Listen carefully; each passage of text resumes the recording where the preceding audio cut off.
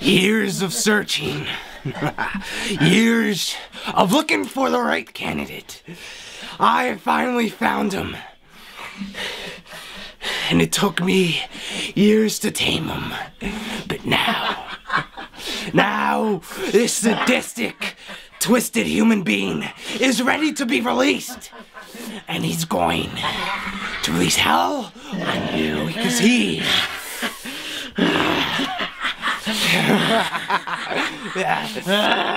you know, when you look for answers, you finally find the one you're looking for.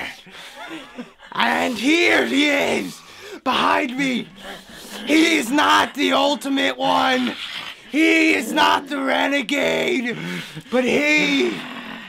He is the unknown. He.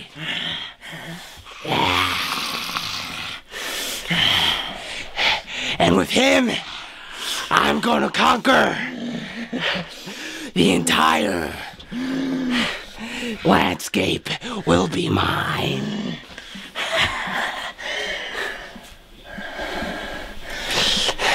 Tell him.